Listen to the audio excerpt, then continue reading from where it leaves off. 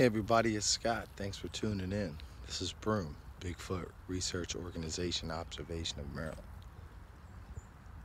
It's about 8.45, the sun's rising. This particular spot here, that huge mound behind me, is where I've seen actual Bigfoot shapeshift. And then this other one down yonder, back over here, where I've seen the witch, the goat man, and this like demon figure from a tree spew out a spider into the water, which I have video of. Pictures and it all being a documentary. It all started with the journey for Bigfoot. This location here, I found scat. Seen the green energy orb. I've seen a lot of uh, the light and shadows being utilized. I have thermal imaging. I've seen things light up at night too. Over here on this side behind me is the actual Little Patuxent River and ponds. This is a swamp area behind here, which I believe is very supernatural and Bigfoot lives here and a goat man. If you're familiar with Maryland, you're familiar with the story of the goat man in the Department of Agriculture. I grew up in Prince George's County. And I travel all around Maryland when I can. And I'm always ready to squatch. Some people like to carry their fishing rods with them, go fishing. I like to squatch.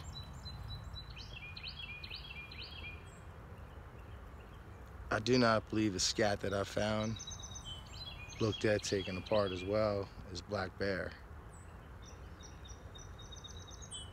I don't think there's a black bear here in Anne Arundel County, Maryland, or like right next to my house.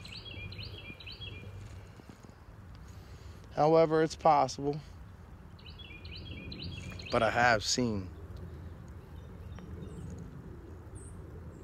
Bigfoot, skunk apes, southern Sasquatch, Sasquatch, goat man, witch, a witch.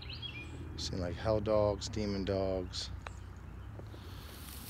Seen uh, the devil. I've seen him out here. I mean, this, this is playground. But I have no fear. Second Timothy 1 7. Joshua 1 9.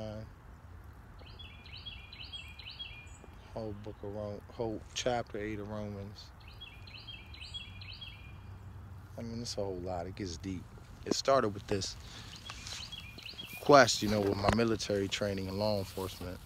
Who, what, when, where, how, why, and actions taken, trying to figure out, watching, finding Bigfoot. Why can't they find him? Watching these guys that are like monster hunters. Why can't they find him? You know, and they all go about it, I think, the wrong way. You gotta go about it God's way. The spiritual way. And understand that when you believe that you've been saved by grace through faith, then you understand that all things were created through him and for him, and nothing exists that doesn't exist, that Jesus didn't create. He's the answer to it all. So I went to the Bible for answers, and I found a lot in this documentary. It's going to be so amazing. It is just totally, totally cool. Joel 228 and Acts 217. That's what's up. It's your boy, Broom, Bigfoot Research Organization, Observation of Maryland. This is what we do.